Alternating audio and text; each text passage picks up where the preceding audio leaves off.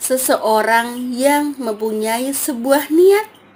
Misal pengen niat, saya pengen bantu orang itu, pengen kasih uang orang itu, pengen kasih uang tukang becak misalnya, sedang di jalan, pengen banget, tapi nggak sempat kasih karena di lampu hijau tersebut menjadi merah dan yang jalan adalah tukang becaknya nggak sempat ngejar.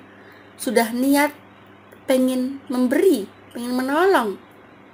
Tapi nggak sempat menolong. Sudah ada niat akan dapat pahala. Karena niat itu sungguh luar biasa dan keren. Keren. Yuk kita niatkan di dalam hati kita apa-apa yang baik walaupun belum bisa menolong, insya Allah sudah dihitung pahala oleh Allah.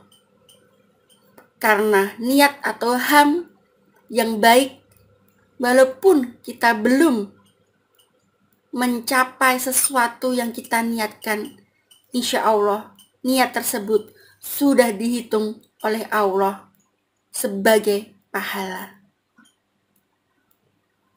Oke? Okay? Yuk, niat karena Allah. Karena suatu amalan tergantung dari niat.